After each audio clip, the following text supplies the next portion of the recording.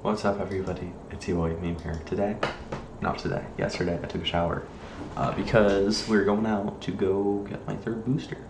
Very happy about that. I have no side effects so far. The only thing is that my arm um, is, of course, sore from a needle poking into it.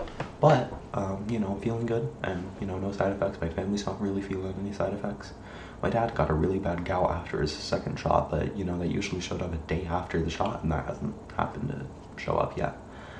Um, I got this really nice Glock skin in CSGO, so I'm happy about that. It's a um, Royal Legion.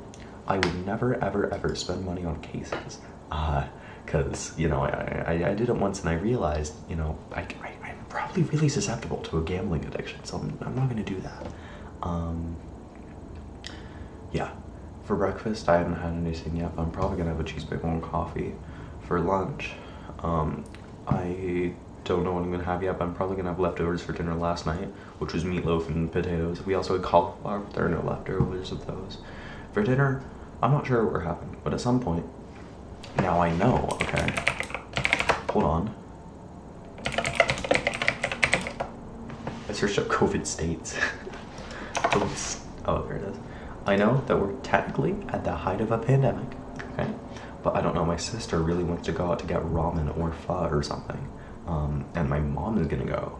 And you know so if they're going they're exposed. So i might as well go. I'm not i know i don't support them going. But if they're gonna go and just expose the rest of us i might as well. So maybe i'll do that at some point. Um, we're probably not gonna go though because you know we're not crazy people. Um, it's so weird how many people live on the east coast and i've never even been there. I don't even know what the east coast looks like. I've, ne I've never been to new york and that's like the whole world that's like the center of the world. So weird. All right. Well, technically, the center of the world is the Greenwich Observatory, but you know, who cares? No offense to the people in the Greenwich Observatory. All right. See you, dude.